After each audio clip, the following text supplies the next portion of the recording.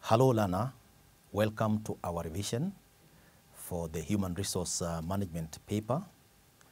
Uh, my name is Dr. Evan Sagwa, and uh, we are uh, revising the KASNEB paper that was done on 25th May 2016, Human Resource Management, the paper for KASNEB. We will look at question uh, uh, three, three, we read it, then we look at uh, sample responses. Uh, question three uh, required the candidate to answer the question in three parts. And um, question 3A reads, distinguish between placement and induction, two marks. Question B, employee resourcing in today's organizations is being affected by various factors. Examine four of these factors, eight marks. C, explain the five steps to be followed in the process of succession planning, five marks. Total marks for question three, 15 marks. Uh, question A has uh, two aspects, and uh, the first aspect is uh, placement, and the second aspect is induction. So we look at question 3A. Uh, question 3A, distinguish uh, between uh, placement, uh, placement, and induction. Induction. And this question has two marks. Before we look at the question, it is important to understand uh, the two aspects that the question is uh, asking. There is the placement and there is induction. Uh, the aspect of uh, placement normally takes place in an organization when an organization has uh, recruited an employee, has selected that employee, and now a decision has to be made in terms of the available positions. Which position can this employee fit and be able to make uh, optimum contribution to the organization among the available positions that the employee can fit in?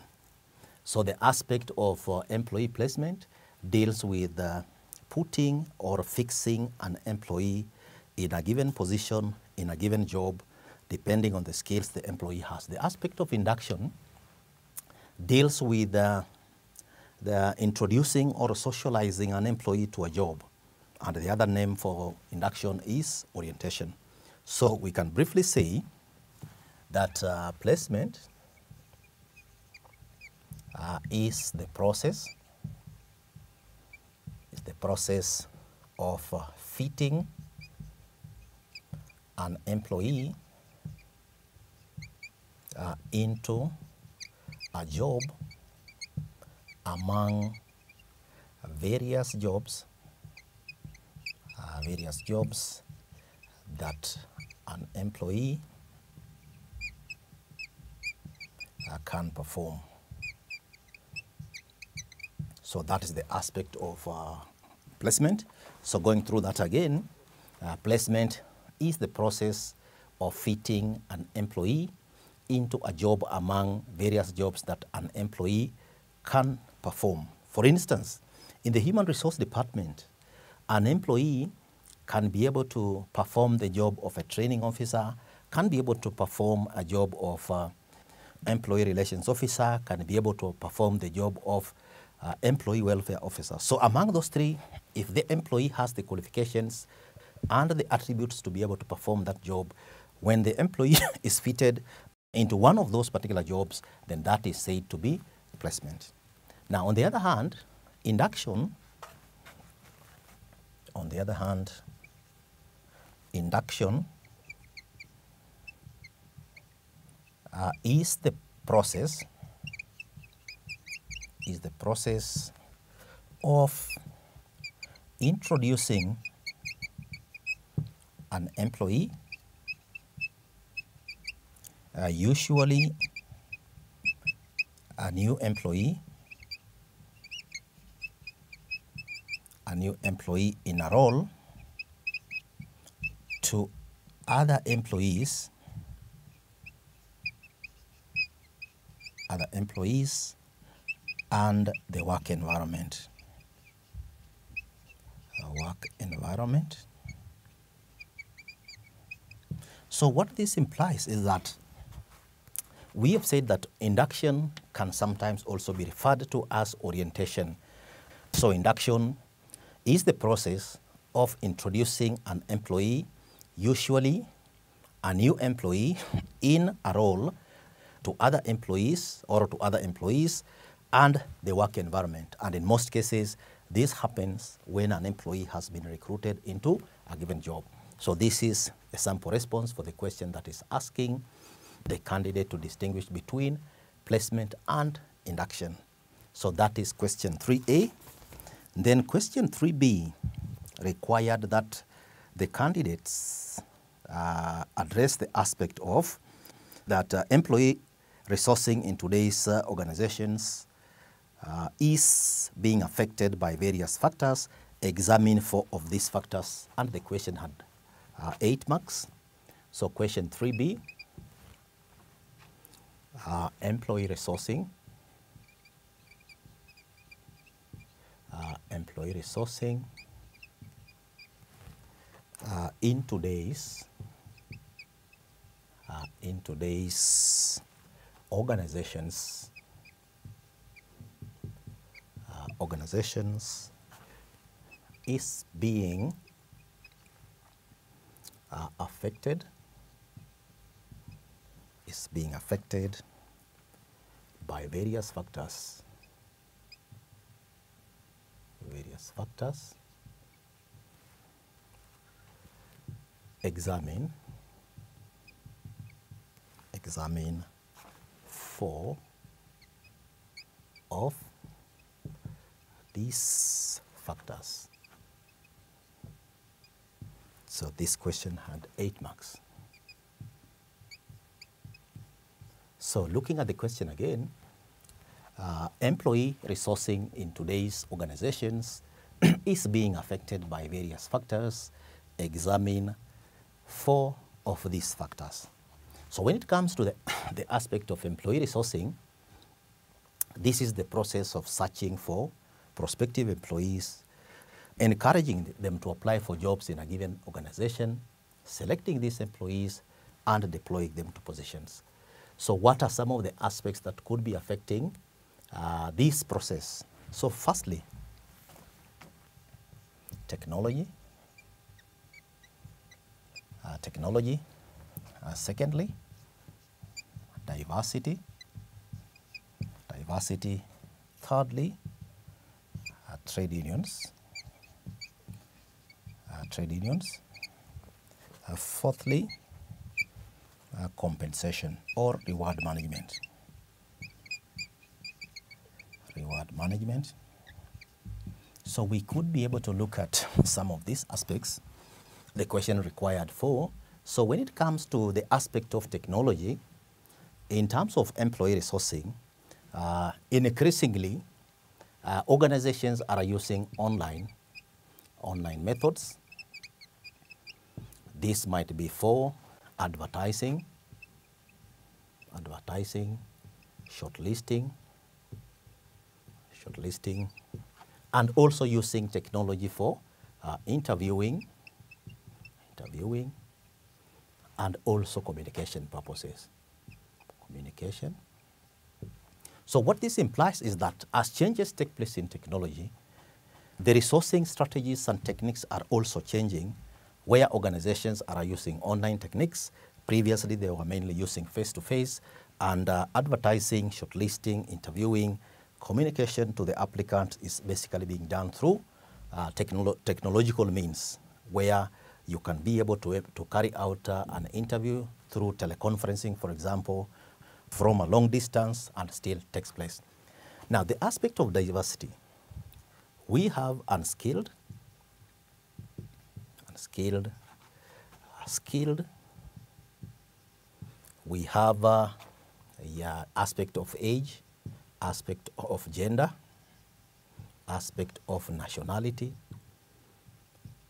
aspect of culture, uh, culture, among others. So unskilled workers, skilled workers, aspects of age, young workers, older workers, aspect of gender, male, female, nationality, culture, all these aspects are uh, impacting on how employee resourcing is done. For instance, many countries have come up with issues of gender balance. So when uh, employee resourcing is being done, for instance, in the public sector, you have to ensure that you at least meet the one-third rule such that one either gender, you must at least have that representation. When it comes to aspects of trade unions, trade unions are very particular. And when it comes to the process of employee resourcing, organizations might also want, for instance, to reduce staff. And when it comes to trade unions, now aspects are like uh, employee, employee reduction, because in terms of employee resourcing, you want to achieve particular numbers. And if you want to achieve particular numbers, you may want to reduce staff. And if you're reducing staff, employee reduction, like the process of uh, declaring redundancies. Redundancies. So when an organization has to declare a redundancy, uh, unions, trade unions can oppose that process. They can oppose that particular process of uh, declaring redundancies. And when they oppose that process, that kind of opposition normally creates a problem and an organization can remain with more staff than it requires in relation to that. When it comes to reward management strategies, competitiveness, competitiveness, uh, you also have industry practice, industry practice, you also have rates, now, these uh, aspects of uh, compensation, competitiveness, and industry practice, organizations are increasingly losing workers or offering reward management strategies that uh, attract workers in what is sometimes called poaching. So, through poaching, an organization can offer reward management or rewards that are better than what the employee is currently earning, and in that case, they are able to carry out that particular resources through what we call also headhunting. Uh, headhunting processes, which are basically linked to rewards that workers are given, and that is also affecting uh, employee resourcing in the industry today. Then question 3C. Question 3C required that the candidate explains the five steps to be followed in the process of succession planning, five marks. So question 3C, explain the five steps, uh, five steps uh, to be followed, followed in the process, uh, process of succession planning succession uh, planning, succession planning, uh, five marks, uh, five marks. So the question requires that the candidate explains uh, the five steps to be followed in the process of succession planning. So what are these five steps? The five steps, the first one is uh, identification identification of critical positions, critical positions uh, to be filled, uh, to be filled. The second one, identification, identification of competencies, uh, competencies required, required the third one, uh, implementation, implementation, before implementation is identification, identification of succession, succession management management strategies. Uh, strategies. The fourth one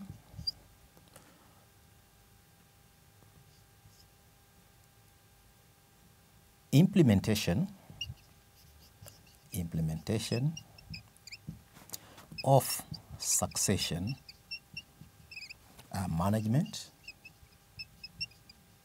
action plans action plans and then fifthly five evaluation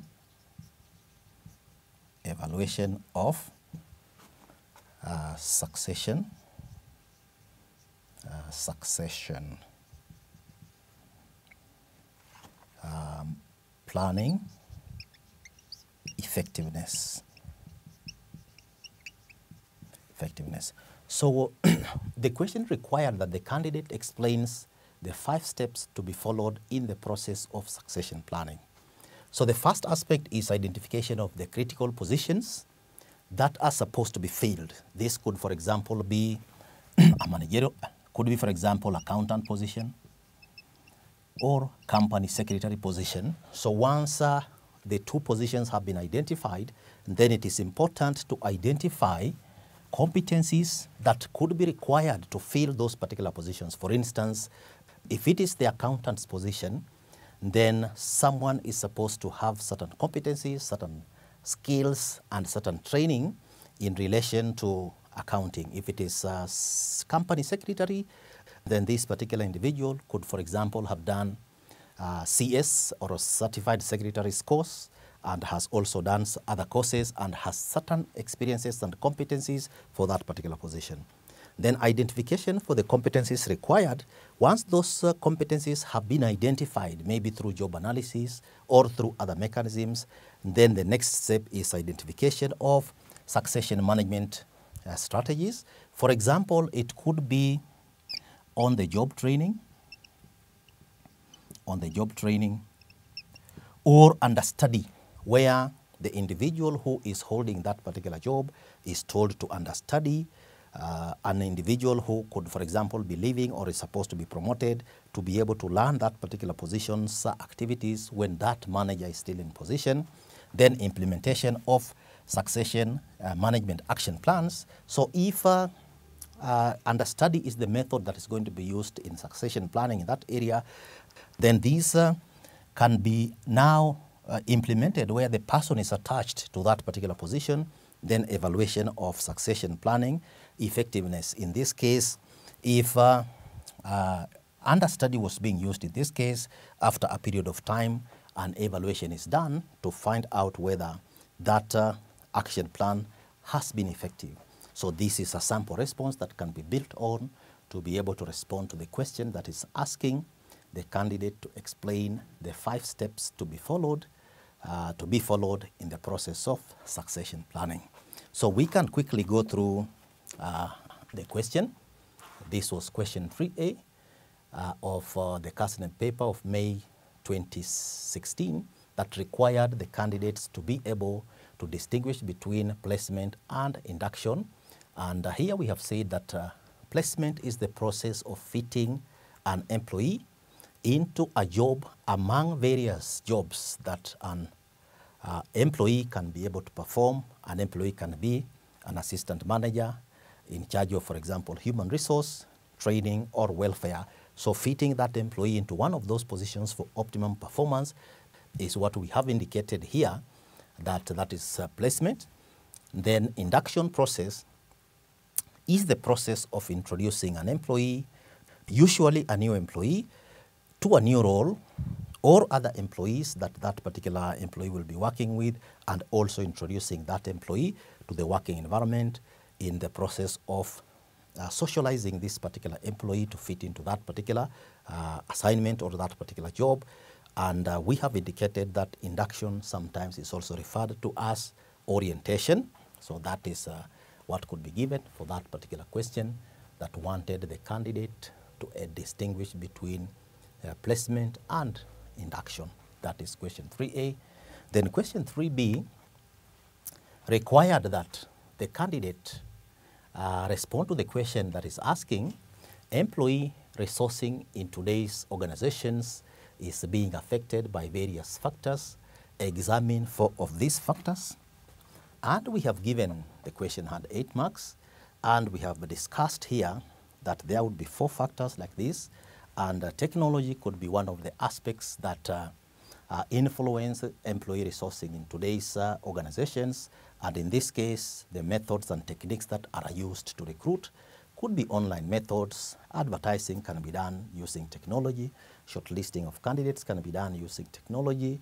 Communication to the candidates can also be done using technology. And this one helps in fast tracking the process of employee resourcing. And many organizations are increasingly using this uh, uh, technology. Then the aspect of diversity. And uh, here we have discussed the aspect of unskilled workers, skilled employees, issues of age, young employees, older employees, issues of gender, male and female, and sometimes organizations like in the public sector have to comply with the one-third gender requirement, issues of nationality, where individuals are being recruited, it may be specified the need to be of a, of a particular nationality, aspects of culture, and the diversity also influence how employee resourcing is being done.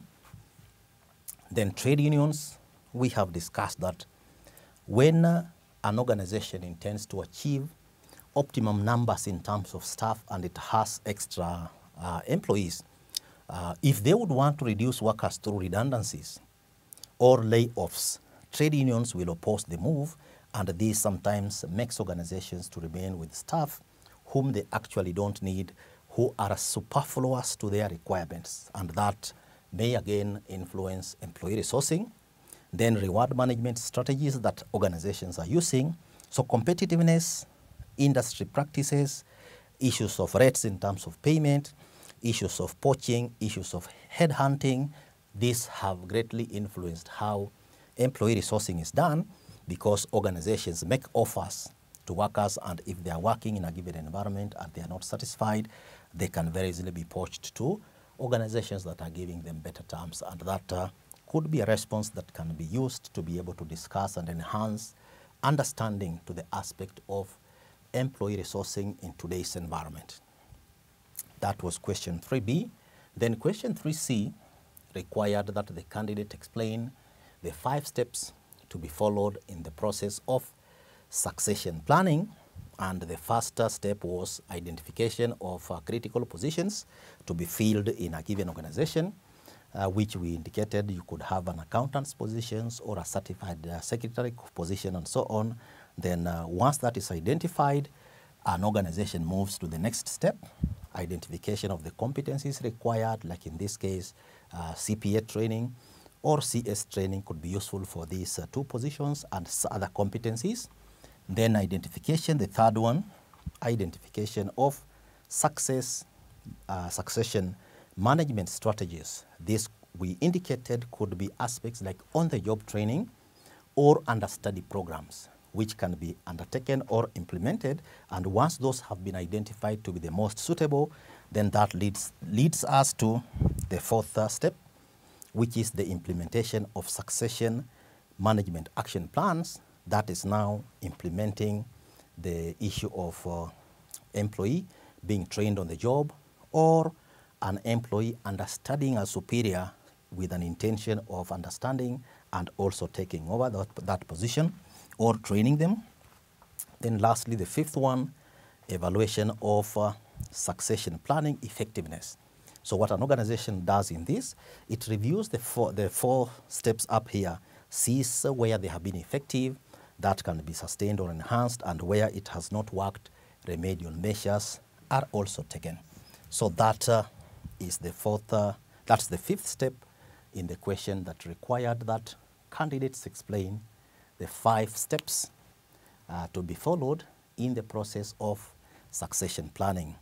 So dear learner, uh, this uh, has been a response to the question of uh, the KASNEB paper of uh, Wednesday, 25th May uh, 2016, Human Resource Management for the CS Part 3, Section 5, where the candidates were expected to respond to the question and we have discussed and we hope this can help you in your preparation process, not only to answer questions, but to grasp the concepts, to grasp the, to grasp the knowledge, to be able to apply these to real work environment situations to make uh, a good of the human resources of an organization, which is the most important resource an organization has. So continue revising.